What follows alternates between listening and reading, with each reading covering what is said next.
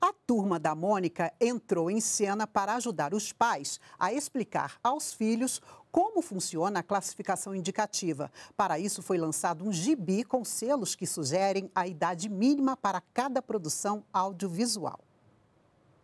A Marilis tem sete anos e adora assistir desenhos, séries e filmes. Zelosa e preocupada, a mãe está sempre de olho. A gente sempre olha a classificação, se é livre ou dependendo da idade.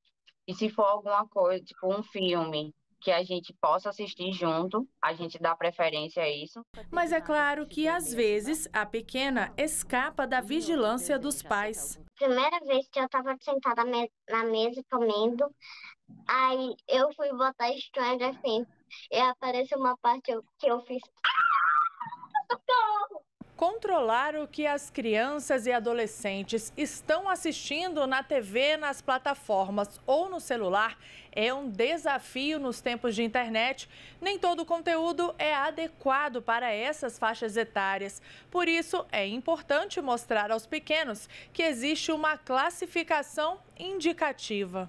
Para ajudar os pais, o Ministério da Justiça e Segurança Pública lançou, em parceria com a turma da Mônica de Maurício de Souza, o gibi De Olho na Classificação Indicativa.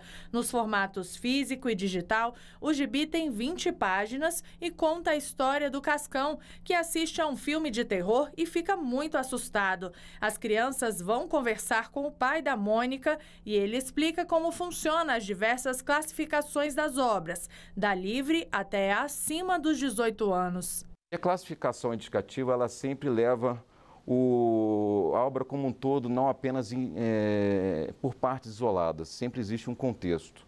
Um exemplo disso é uma morte fantasiosa no, no filme de Star Wars, terá uma conotação bem diferente numa morte ocorrida num filme de terror ou num filme, por exemplo, do, do Tarantino.